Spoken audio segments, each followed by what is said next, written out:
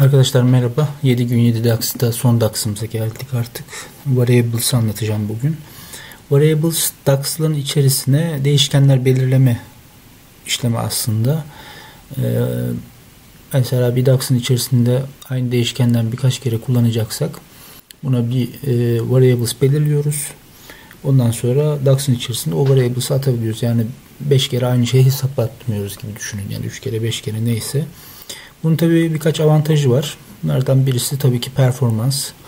Ee, daha hızlandırıyor. Dediğim gibi biraz önceki verdiğim örnekte gibi aynı e, formülün içerisinde aynı e, değişkeni birkaç kere kullanacaksanız bunu tek seferde hesaplatıp içerine yerleştirebiliyorsunuz. Yani her seferinde o hesabı yaptırmasını yaptırmamasını sağlıyorsunuz.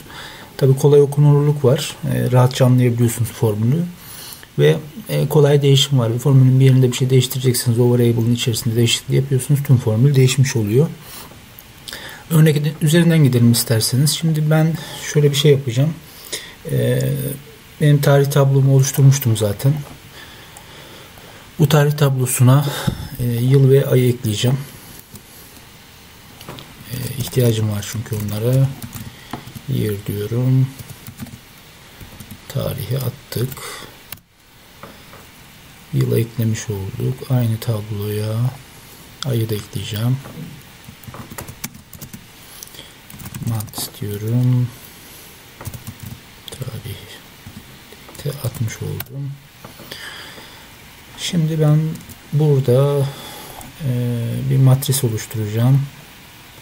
Bu matrisin içerisine sütunlara, kolonlara year koydum.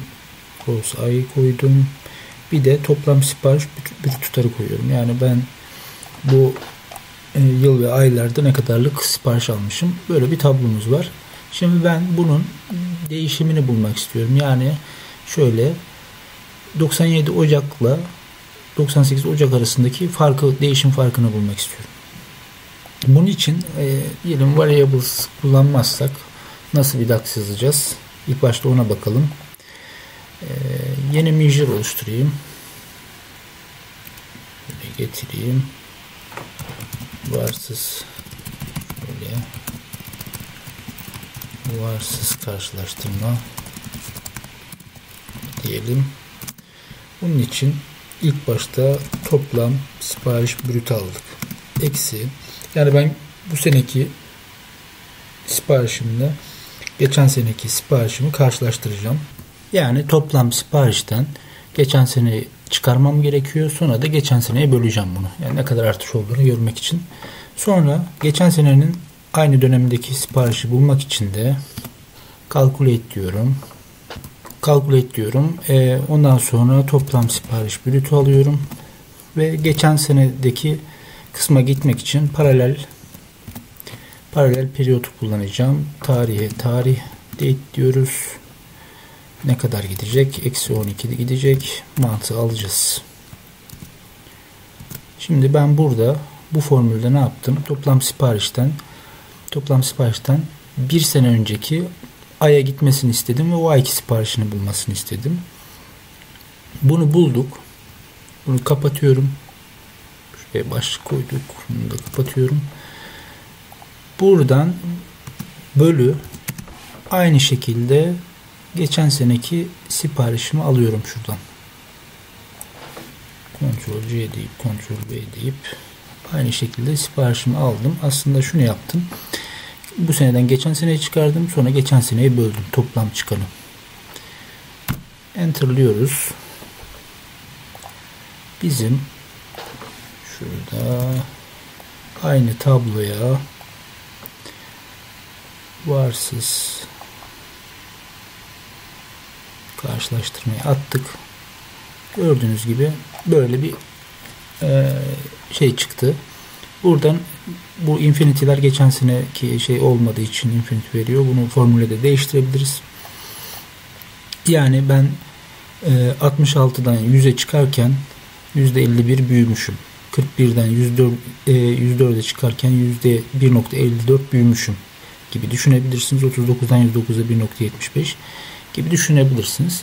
Şimdi bizim formülümüz burada bu şekilde bir formülümüz var. Şimdi burada ne yapıyor? İki kere aynı şeyi kullanıyor ve hesaplatıyor. Bunu biz e, variable'ları yani değişkenlerle nasıl yaparız ona bakalım. Bunun için e, çok iyi bir sintaksı var aslında. E, hemen varsız karşılaştırmaya, varlı karşılaştırma yapalım. Varlı karşılaştırma diyelim. Çok basic bir e, DAX'ı var. İlk başta variable'ı belirliyoruz. Var diyoruz. Boşluk. Buraya ne? Mesela geçen sene satış diyelim ya da sipariş diyelim. Satış diyelim. Geçen seneki satış olmaz. Sipariş diyelim. Geçen seneki siparişimizi ilk başta belirliyoruz. Calculate biraz öncekinin aynısı. Toplam sipariş brüt. Ee, paralel periyot. Tarih. Şöyle yaklaştıralım. Tarihi aldık. Ee, eksi 12 diyoruz. Ve month diyoruz. Şimdi bunu aldık. Geçen sene sipariş diye bir variable belirledik. Şimdi e, alt tarafa geçiyorum. Arkadaşlar bilmeyenler için alt tarafa geçmek için formun içerisinde üst ve enter'a basabilirsiniz. Şimdi bunu hesapladık. Ben ne yapacağım? Bu variable'ı kullanarak varlık karşılaştırma diye bir değişken oluşturuyorum. Onun için return diyorum. Yani artık çalıştıracağız formülümüzü. Return diyorum. E, toplam sipariş brüt eksi geçen sene sipariş tanımlamış olduğumuz bölü geçen sene sipariş. Burada tabi şurada formülize ediyoruz bunu. Formülize yani parantez içine alıyoruz üst tarafı. Variable tanımladık sonra içeride kullandık bunu. Gördüğünüz gibi gayet temiz bir şekilde e, görebiliyoruz formülün yazılışını. E, burada bir sefer bir şeyi hesaplıyor. Ondan sonra içlerine yerleştiriyor. Yani iki kere yapmamış oluyor diğeri gibi. Okeyleyelim. Aynı tabloyu bir de varlı olarak koyalım. Şuraya bunu kaldırıp varlı karşılaştırma diyelim. Aynı şekilde varlı olarak karşılaştırdı. Şu mesela infinity'leri hemen e, ortadan kaldıralım. Onun için e, divide fonksiyonunu kullanıyoruz. Divide'i kullanalım. Şunu kaldırıyorum. Şunu da şöyle aldık. Doğru değil mi? Bunu buradan divide'e aldık.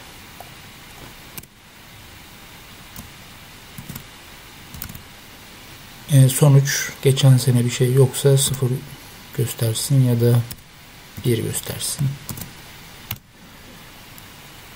Okeyledik mi bunları yüzde bir gösteriyor veya hiçbir şey de göstermiyor. Sıfır da diyebiliriz ya da hiçbir şey yazmazsak boş gelir bu şekilde. Bunu da aynı şekilde yapalım. Buradaki varlığı da yapalım öyle. Şuraya divide alalım. Şuraya noktalı virgül. Divide aldık noktalı virgül. Şuraya bir başlık koyalım. Evet, kapatalım. Bunu da aynı şekilde aldı.